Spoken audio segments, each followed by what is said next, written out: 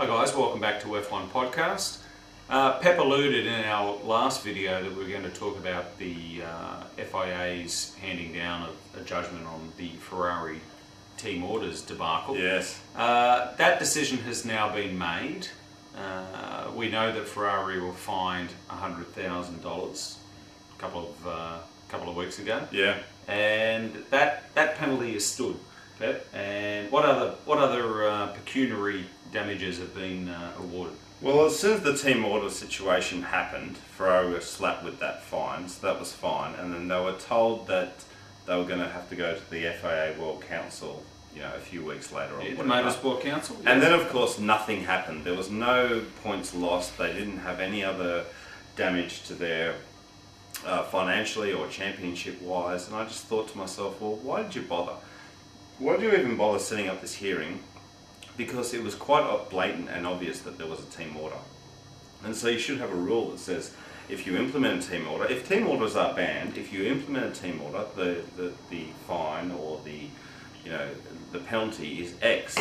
Uh, why do you have to go to the FIA Council to then find out that there is no further uh, judgment against you. I just thought it was a complete waste of time, and I thought I think that there really should be a process for team orders where they actually say, okay, you're going to lose your points, so you're going to get a fine or whatever. But don't, you know, it, it really grinds my gears, Max. grinds my gears.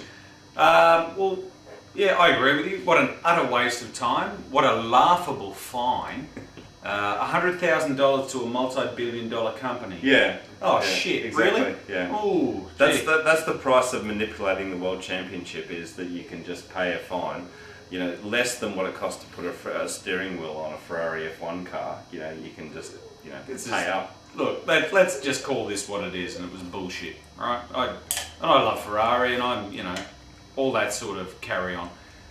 I think it's high time that we ban team orders. Yeah. Uh, I think it's a load of shit yeah. quite frankly, and I've thought that for years. This is a team sport, okay, at the end of the day.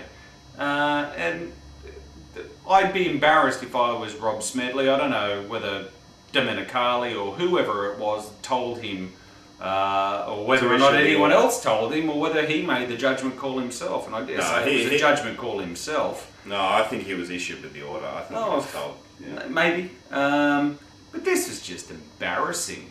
Uh, and, and then for them to tacitly turn around and deny yeah. after uh, the race that there were any team orders issued is, is quite frankly laughable and it's treating us all, not, not only the Formula One media, but most importantly the fans, yeah.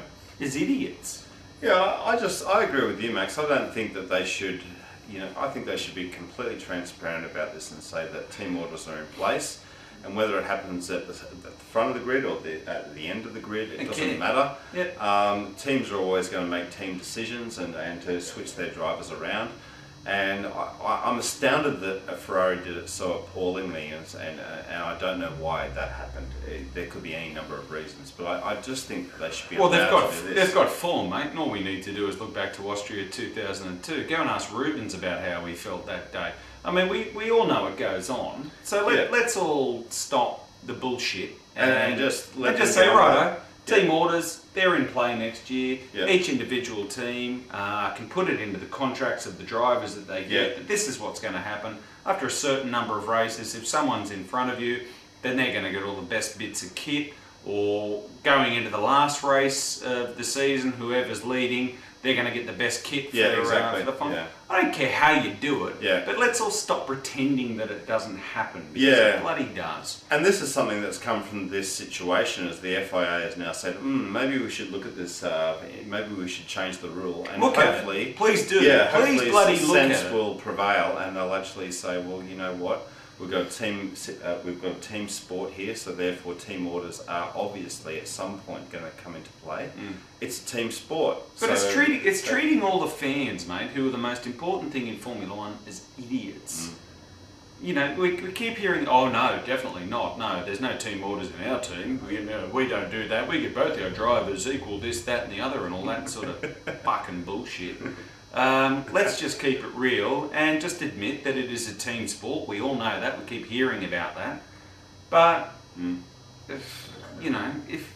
And, and I hear, keep hearing people saying, oh well, if you're going to instigate team orders, at least do it so no one knows that you're doing it.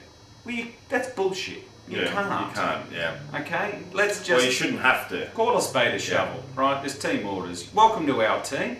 This is how the team's set up, all right? If you want to join our team, uh, this is this is the story. Yeah, this is what's going on, Yeah. all right? And and let's just be done with it.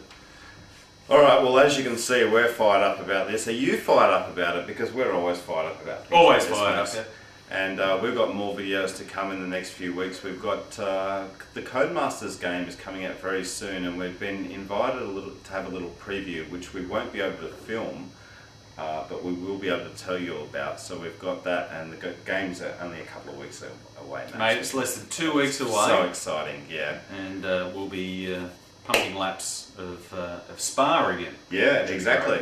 And we'll be doing new videos soon, of course, reviewing the Monza race and also, Max, also, we've got uh, the new regulations coming up for Ah, 2013. do. There's been heaps of banter about that, so we're going to do a video in the next week or a couple of weeks about the new regs, Max. Looking Uh, forward to that.